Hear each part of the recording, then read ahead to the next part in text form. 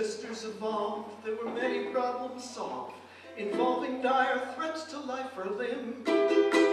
A fight or flight reaction could prepare us to take action, to defend ourselves or cherish kith or kin. So when we became frightened and our muscles started tightening, blood pressure and heart rate on the rise, our pupils were dilated, threats anticipated, to ensure we were not taken by surprise. Speed up, no abstraction. It's to be or not to be.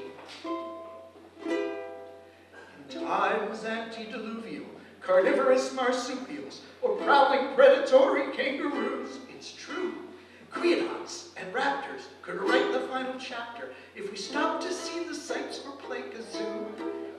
In a dangerous arena, we face saber-toothed hyena, cave bears are enemies with spears. Python could force us to decide on what to do when overwhelmed with fear. Speed up, rapid reaction. Speed up, fight or flee. Speed up, it's no abstraction. It's to be or not to be.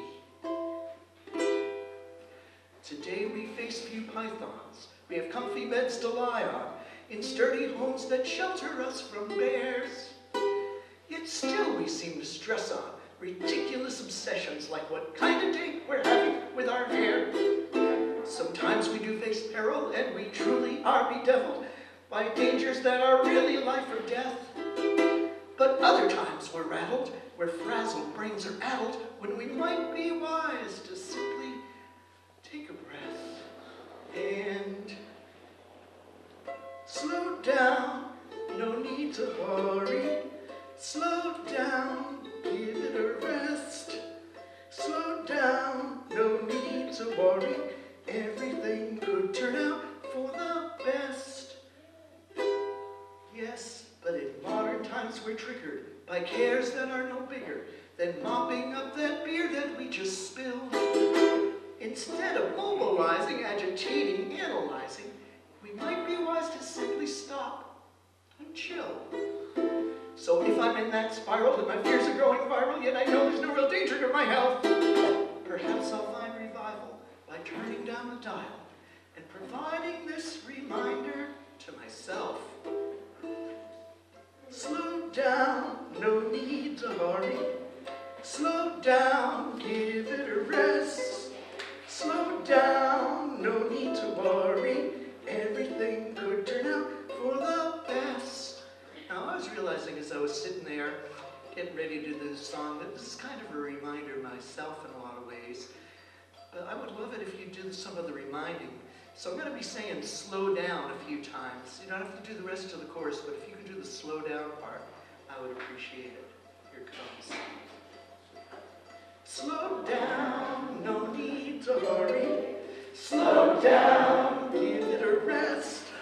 Slow down, no need to worry. Everything could turn out for the best. Slow down, savor the flavor.